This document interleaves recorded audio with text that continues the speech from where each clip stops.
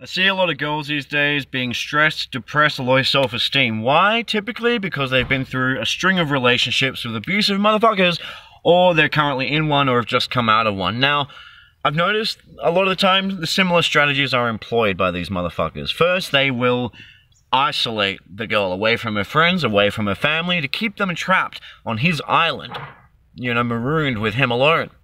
And they will deliberately sabotage and push their partner to cut ties with everyone else.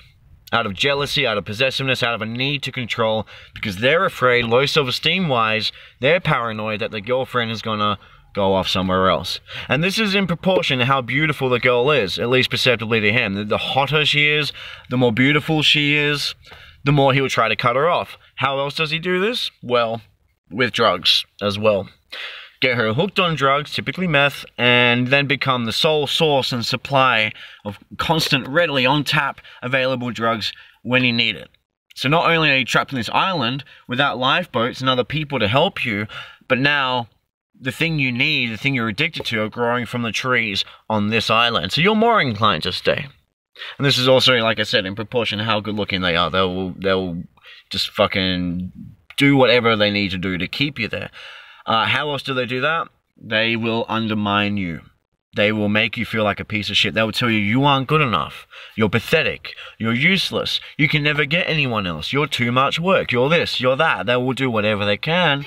If you're a beautiful, majestic bird with amazing wings, with the potential to fly anywhere you want with any other guy, they will clip your wings and they will make you be convinced that you're nothing but a piece of poo with two sets of twigs for wings, so you can't fly at all. So you're stuck in that island for good. And that's what they do. I noticed a strategy employed.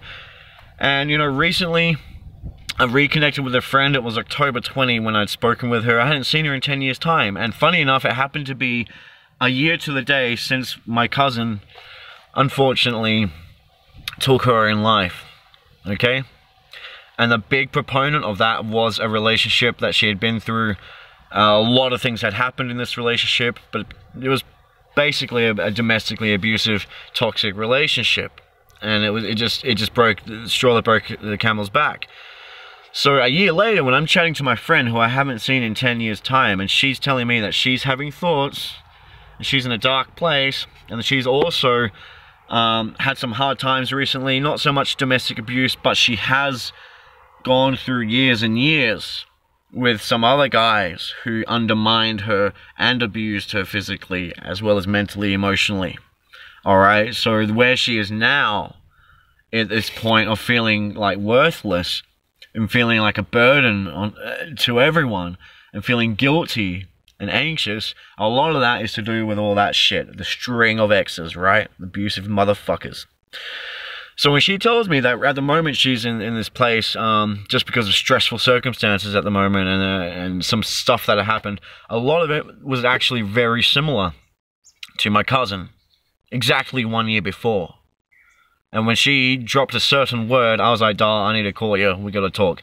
And we, we talked. I tried to empower her, help her build a vision of why life is worth living, of, uh, how how much capacity she has and, and potential she has in life um, to try and pull her away from thinking about the past and all these voices in her head saying she's worthless.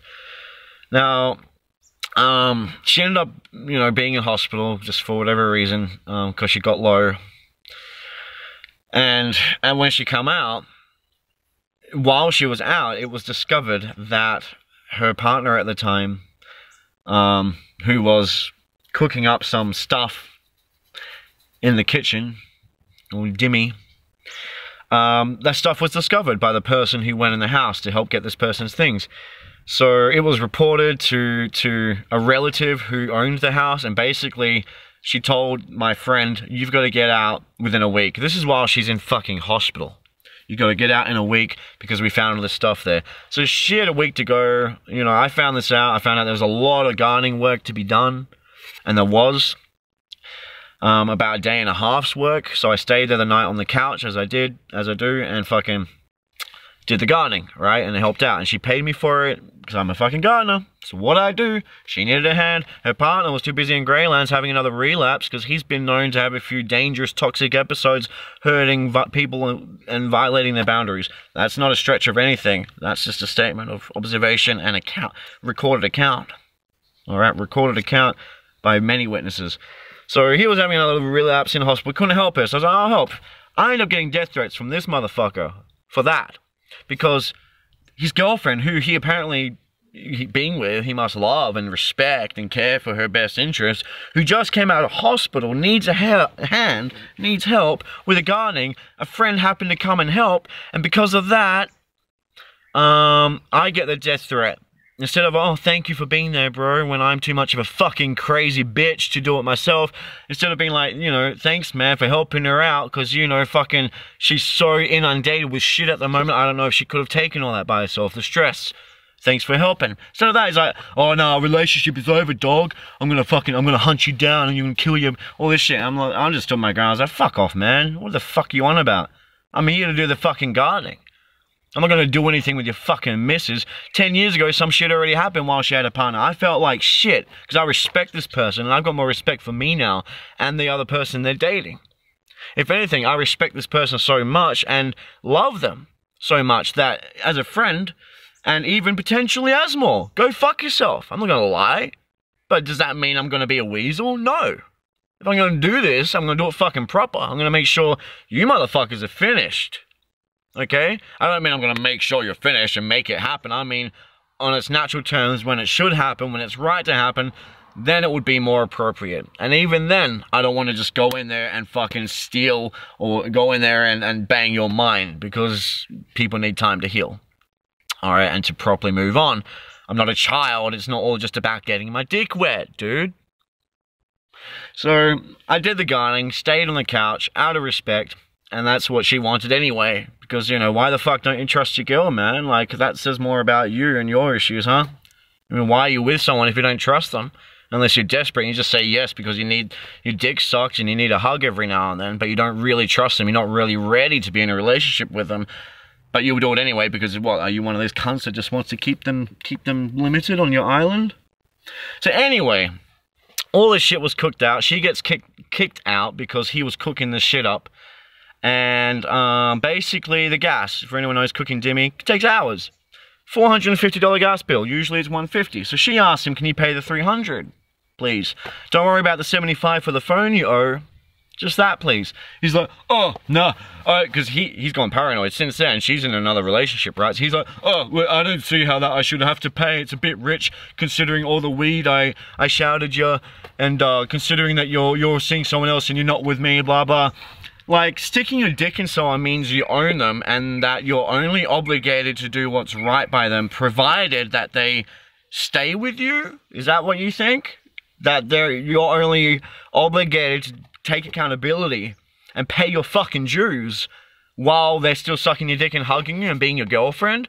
And if not if they happen to because and this is a mutual thing apparently. These people split mutually all right because they both need to sort their shit out um, and I think she had bloody good reasons to, even if she did decide to, to, to pull that, that cord by herself. But that wasn't the case.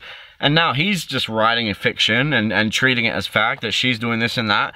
And using it as justification to take what was offering weed, as one does, as being an Indian giver now and saying, oh, well, actually, I was just secretly keeping a, a tab and the money I owe for the bill, um, it's, it's gone in the weed because you smoked all the weed. And, uh, oh, because you're not with me anymore, any agreement we had as two individuals doesn't matter anymore.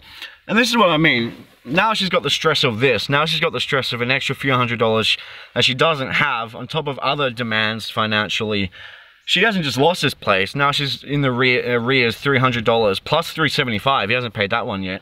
So, and now, you know, this is what it comes back to. Is guys thinking they can just exploit girls and get what they want out of them and treat them with respect and hold up their fucking end of the bargain, end of the deal, hold up their fucking whatever they're obligated to do, what's right, their dues, to pay their dues. And the second the girl stops playing their game the way they want to play it, even if they're being respectful and they're still like, dude, I'm not, I don't have an issue with you, just because they're not dating them anymore, that, that's enough reason to get sourpuss and to turn into a fucking asshole and just do what's wrong by them and no longer do what's right. I think it's gross. I think it's gross. Guys that will ruin and push people potentially to the fucking edge just because they're so lost up their own toxic, selfish, motherfucking childish asses.